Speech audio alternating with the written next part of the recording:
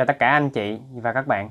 Hôm nay em sẽ review cho anh chị và các bạn một cái mẫu xe nữa. Mà mẫu xe này là mẫu xe điều khiển, Pin sạc nha các bạn. Mà các bạn xem chi tiết ra màn hình nhé.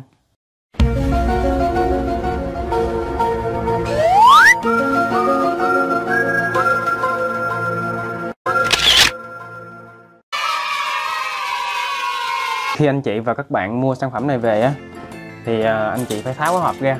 Nhưng mà trước khi tháo hộp thì em sẽ đo kích thước cho anh chị xem trực tiếp luôn. Để biết được cái à, sản phẩm này là nó có kích thước bao nhiêu ha. Để mình à, dự đoán được cái sản phẩm là à, nó lớn hay là nhỏ cỡ nào. Thì ở đây em chỉ đo là đo về cái hộp của sản phẩm thôi nha anh chị và các bạn. Còn cái sản phẩm thì à, em không đo tại vì đo mất thời gian lắm. Thì cái hộp của sản phẩm này các bạn thì nó có cái chiều dài nè các bạn. Cái chiều dài của cái sản phẩm này nè. Anh chị cho các bạn xem ha là nó tầm khoảng cỡ ờ, 47 cm nha các bạn. 47 cm và cái bề ngang của sản phẩm này các bạn. Nhìn anh chị. Cái bề ngang của nó là nó có chiều nó có chiều ngang là khoảng có 20 cm ha. Thì em đo nhanh thôi. Rồi, cái chiều cao của nó, chiều cao của chiều hộp là khoảng 13 cm rồi, anh chị xem ha. Chị tháo hộp ra. Tháo hộp ra thì bên trong sản phẩm sẽ có những sản phẩm như thế này nè. Thứ nhất là anh chị tháo ra là nó sẽ có một cái chiếc xe ha. Cái sản phẩm này nó có hai màu, ba màu luôn các bạn à, em quên nói mã số cho anh chị và các bạn xem nữa. Cái mã số này là cái mã số này nè nó là cái mã là No 278 ha nó có ba màu trắng đỏ và màu vàng các bạn ha. Xem chi tiết ha. Thì sau khi anh chị mua à, tháo cái hộp ra thì anh chị sẽ lấy ra sản phẩm tức là một chiếc xe nè. Sau đó sẽ có thứ nhất là một cái cục pin sạc. Cái thứ hai á cái thứ ba là một cái dây sạc các bạn. Cái dây sạc và cái sản phẩm tiếp theo á, là nó một cục điều khiển. Sau khi anh chị và các bạn mua sản phẩm này về thì cái cái cây anten này nè các bạn cái anten này có thể kéo dài ra được nha. Kéo dài ra được. Đây. Thì nó sẽ nằm rồi anh chị và các bạn dạy con em mình á, lắp sản phẩm này vào.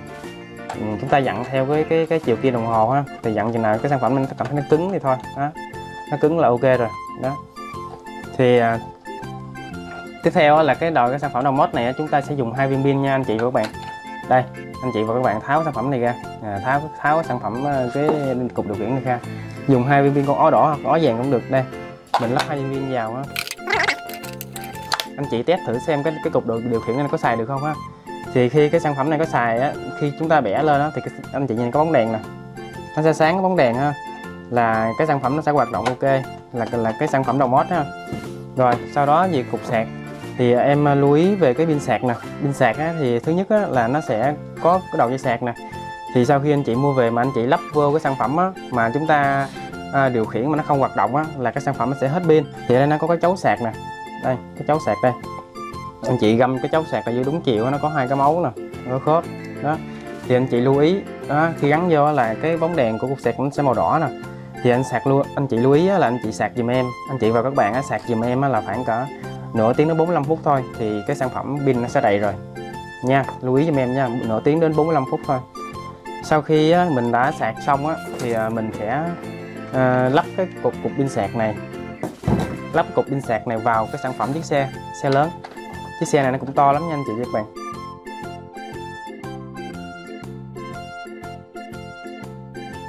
Thì à, sau khi lắp xong thì chúng ta sẽ để cái sản phẩm vô như thế này nè đó, anh chị và các bạn các bạn xem, các bạn xem ha.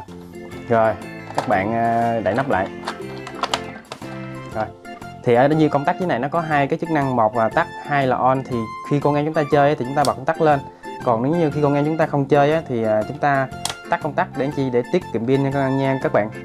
Rồi, bây giờ chúng ta sẽ mở công tắc lên. Thì khi mở công tắc lên thì sản phẩm nó hoạt động rồi đó. Bây giờ em sẽ test thử cho anh chị cho các bạn xem ha. Thì khi á nè anh chị cho à, các bạn chú ý nè khi cái sản phẩm nó chạy á cái nút này là điều khiển đến nè chạy đến. Đây sản phẩm này là bánh xe chạy tới nè. Thấy không? Chạy tới các bạn ha. Rồi cái sản phẩm này là cái nút này là chúng ta bẻ bẻ qua về nè là nó chạy về nó chạy lui về ha chạy lui về. À, chạy tới chạy lui. Rồi cái nút ở trên này là cái nút cái bánh xe cái nút bên đây nè cái nút điều khiển này là cái, cái nút bẻ lái trái phải. Đây chúng ta bẻ ở đây nếu chúng ta bẻ từ cái chiều mà từ trái sang phải á, là cái sản phẩm nó sẽ quẹo. Nó sẽ bánh xe các bạn nhìn nè. Đó thấy không? Nó quẹo. Còn nếu chúng ta bẻ qua bên phải bên bên trái á thì à, cái bánh xe nó sẽ nó sẽ à, bẻ qua bên bên trái các bạn ha. Rồi. Thì à, lưu ý nè. À, có đằng trước đằng trước có hai cái đầu bánh xe nha các bạn. Một nè hai con hai con hai bóng đèn nè. Hai bóng đèn đây. Một hai thì khi sản phẩm chúng ta hoạt động chúng ta chạy tới nè thì sản phẩm nó có đèn anh chị đi ha nè nha, đèn chớp màu đỏ nè. Đó rồi. Thì bây giờ em sẽ cho cái sản phẩm nó chạy ha.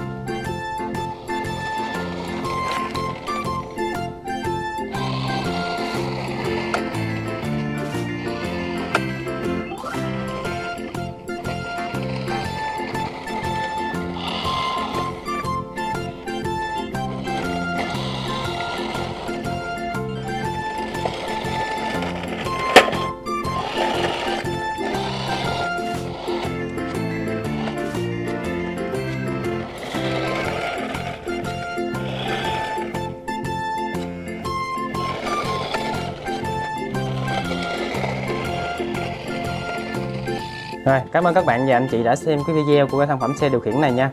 Lưu ý giúp em là có cục pin sạc này á, lưu ý là sạc cho em khoảng từ nửa tiếng đến 45 phút là cái sản phẩm này pin nó đầy rồi. Đó, rồi anh chị cảm thấy cái mẫu nào đẹp á thì lấy về bán, còn cái mẫu nào mà cảm thấy hay thì mua về cho em tới chơi. Rồi, xin chào và hẹn gặp lại các bạn trong một cái sản phẩm mới.